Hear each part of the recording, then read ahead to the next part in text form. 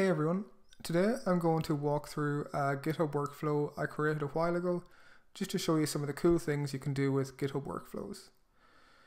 So what does this workflow do?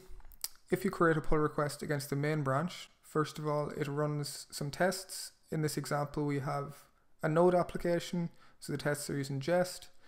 If the tests pass, it turns on a smart lamp green in my office. It then plays some celebration music on a smart device. In this case, it's a Google Home. After 10 seconds, it sends a request to a Raspberry Pi, which takes a photo, uploads it to cloud storage, and then a comment is posted to the GitHub pull request with the photo. So let's just walk through and show you how this works.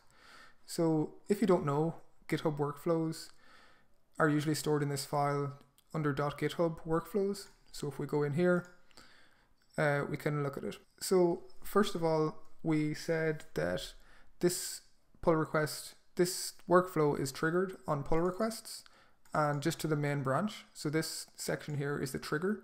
You could also have other triggers um, and you can see those in the documentation.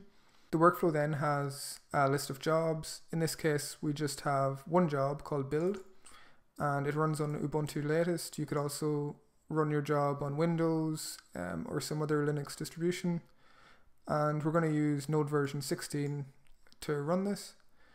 And then our job has some steps. So the first step usually in every workflow is checkout, and this just checks out a repository.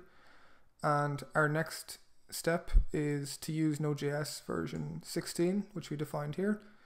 And it basically sets up Node version 16 and sets that all up. And then the next step is it installs our dependencies using npm CI. npm CI, if you don't know, it's like npm install, except it picks up all the versions from the package lock file. Then the next step is running our tests. And as we mentioned, then we have a couple of smart steps here. So we turn on our Office Light. And this is actually using a GitHub action that I created, um, which uses TP action.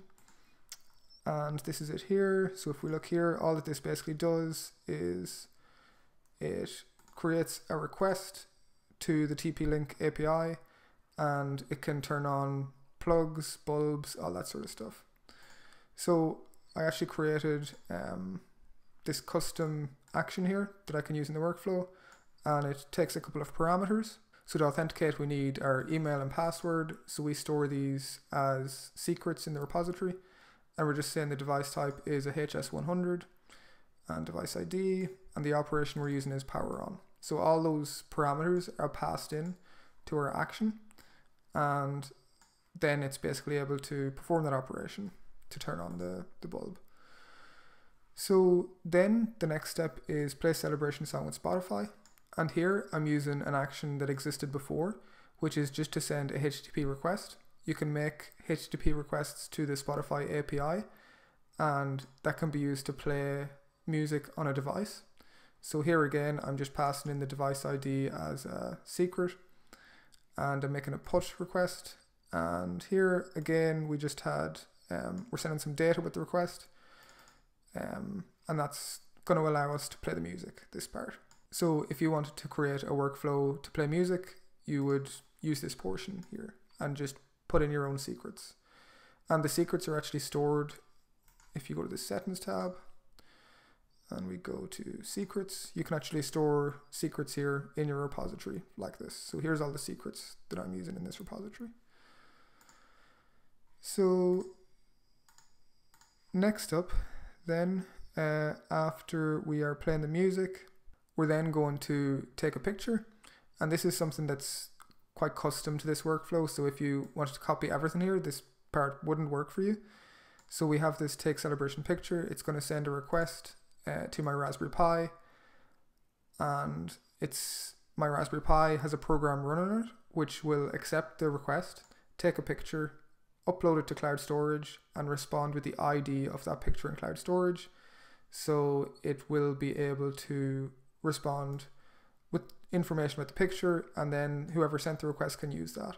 In this case, the final step of this workflow is to post the celebration picture and it basically uses the ID from the step before to post the picture to the pull request.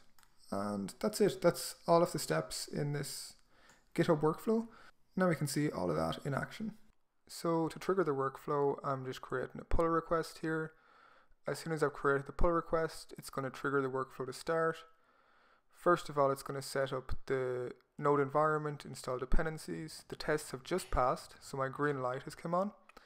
It's now playing some music on Spotify, but for copyright reasons, I can't have that sound on YouTube. So the music is playing. My Raspberry Pi now is taking a picture.